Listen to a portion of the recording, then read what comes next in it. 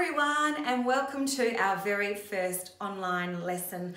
I am so excited to be sharing this with you. Thank you for joining and signing up to Sarah McDonald's online art school. The first lesson in the package involves all things colour. As you can see, I've got this beautiful colourful abstract background behind me. I love colour. I use colour in all sorts of ways. I think from a very young age, as a young painter, I sort of started to see colour a little bit differently. And I also really love teaching about the theory of colour. It's a fundamental. So I have made this colour theory lesson for both my beginner course and my more experienced extension course because at the end of the day I really believe that if you understand the theory of colour, uh, you know how to mix colours, um, you know, you, you can see the joy of being able to make a whole lot of colours just using primaries.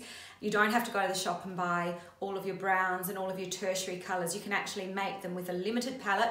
If you know all of that and you have an understanding of complementary colours, how colours sit next to each other, all of those things that I'm going to teach you, then you'll find your other painting processes and your more extension painting projects will become a lot easier for you. You'll be able to make decisions about what colour to grab and what colour you need to add to that to change it just a little bit.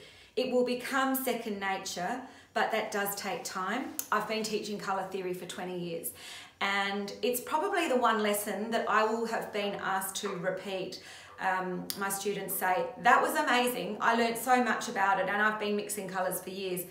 But can you do it again? Because I, I want to keep learning, I want to keep practicing. Practicing colour mixing is absolutely fundamental, guys.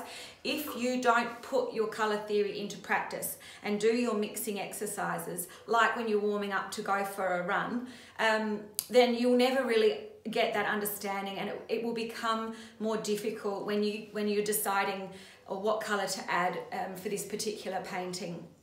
So I'm going to take you through the basics, starting with the primary colours, cool and warm colours, complementary colours, how we make all of the tertiary colours, which is probably my most exciting part of this lecture.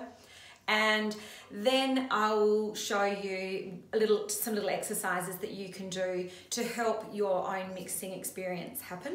Um, I really hope you enjoy it. I'm going to set up now and you'll need to grab your um, some canvas paper, your primary colours, the warm and cool red, blue and yellow. It's all on your list. I will show you everything now at my table and we'll go from there. Thanks.